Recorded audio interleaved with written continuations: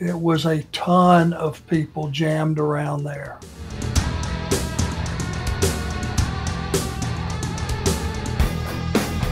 All right, let's have a little bit of a party here. Guys, listen, um, as you remember, we went over everything Great American Bash last show, and we're coming now to an event, Bash at the Beach. It's on the beach.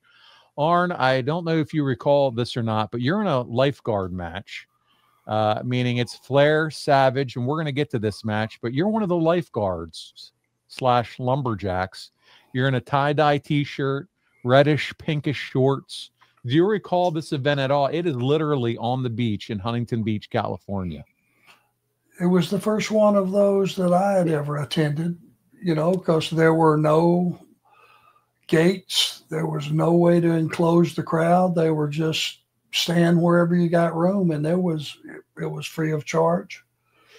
It was a ton of people jammed around there. It, it was, and uh, we'll talk a little bit more about the venue. But this is also the blow off match for the Hogan versus Vader feud, which we've been going through as we've been talking through your career the last few months. This is where it all culminates. It's a steel cage match between these two behemoths. When do you know it's time to finally close down a feud, move on from a feud?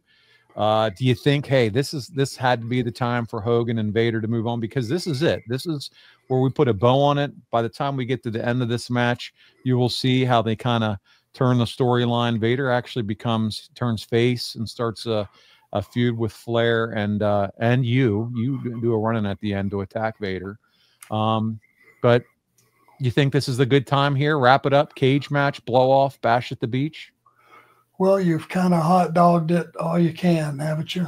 I mean, what what do you do that is a better visual than that? Nothing.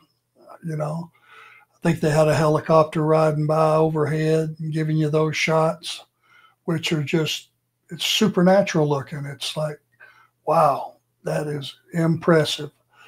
And once you go in the cage, you know, notoriously in the past, that has been somebody is going to pay some dues for all the dirty deeds they've done, and that's what a cage is. It's to pay off.